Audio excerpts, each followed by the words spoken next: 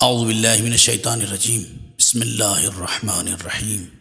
अल्लाम महमद व महमद व फ़रजहम तमाम ममिन को ईद मबस पैगंबर इस्लाम सल्लल्लाहु अलैहि बहुत बहुत मुबारक हो ईद मबास क्या है क्यों मनाते हैं और इसकी वजह क्या है इसका मकसद क्या है अगर हम ईद मबस का हकीकी मकसद देखें तो इसका हकीकी मकसद आला अखलाक की तरफ़ पलटना है तहजीब नफ्स का अंजाम देना है और इंसान को हमत की जानब ले जाना है।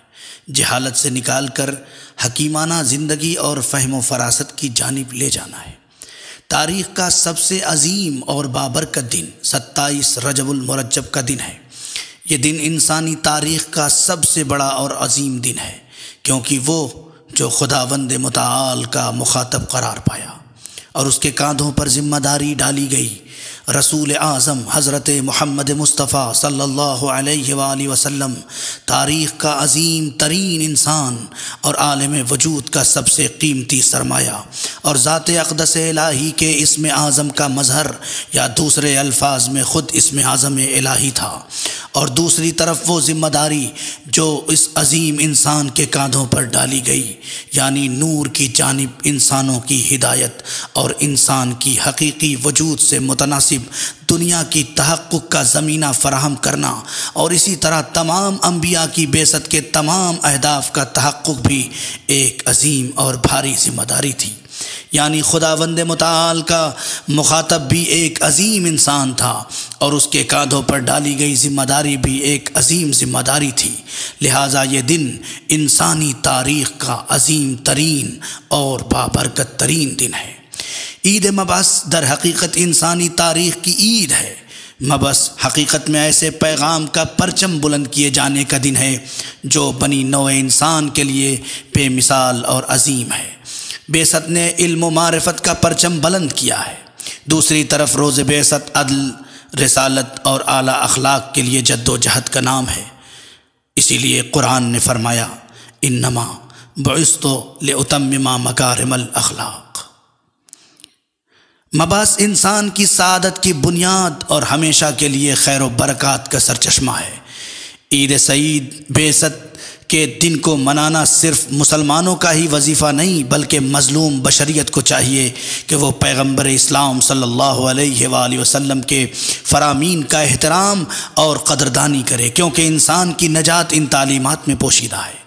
बेसतुलनबी का अपने फ़हम दर्क के मुताबिक समझना और इंसान की इनफरादी और इज्तमाही ज़िंदगी के लिए इस रोज़ से फ़ायदा उठाना सबसे अहम तरीन मसला है।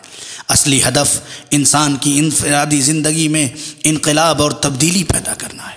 अगर हमने नबी करीम की बेसत से ये भी फ़ायदा ना उठाया कि अपनी ज़ाती ज़िंदगी, इनफरादी ज़िंदगी, शख्सी ज़िंदगी में तब्दीली और इनकलाब पैदा किया तो गोया हमने मबस से कोई फ़ायदा नहीं उठाया।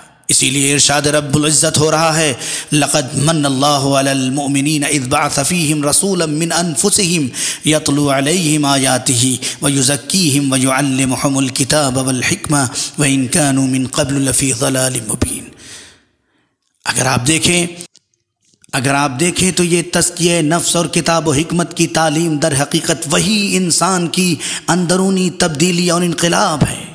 इंसान के लिए अपनी खिलकत के हकीकी मकसद तक पहुँचने के लिए ज़रूरी है कि अपनी इनफरादी ज़िंदगी के बारे में बेसत अम्बिया के अहदाफ की तकमील करे, यानी अपने अंदर बुनियादी तब्दीली पैदा करे, अपने वतन की असलाह करे और ख़ुद को तमाम बुराइयों और पस्तियों और उन तमाम ख्वाहिशात से निजात दिलाए जो इंसान के अंदर मौजूद हैं।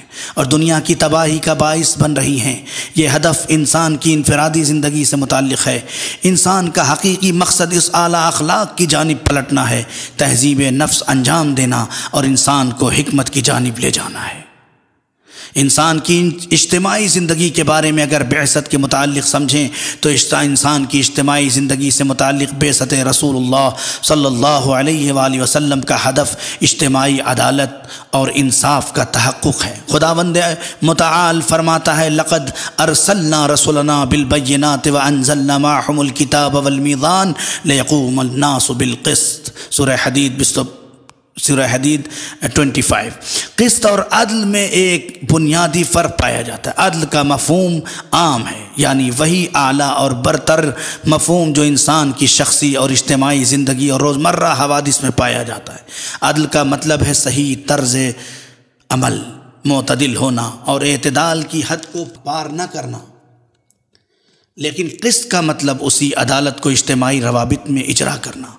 ये वही चीज़ है जिसे हम इज्तमाही अदालत और इंसाफ का नाम देते हैं। अगरचे इन अम्बिया इलाही का बुनियादी हदफ इसी अदल के आम मफहम को तहक़ बख्शना था, क्योंकि बिलअदल कामत समावत वल आसमान और ज़मीन अदल की बरकत से ही उसवार हैं। लेकिन वो जिस चीज़ जिसकी वजह से इंसानियत को आज तमाम मुश्किल का सामना है और बशरीत उसकी प्यासी है और उसके बग़ैर ज़िंदा रहना मुमकिन नहीं। किस्त है। किस्त यानी ये अदल इंसाफ। इंसान की इंसानी इज्तमाही ज़िंदगी में जलवागर हो जाए। अम्बिया इसी मकसद के लिए मबूस हुए हैं। वसलम वरहमल वर्का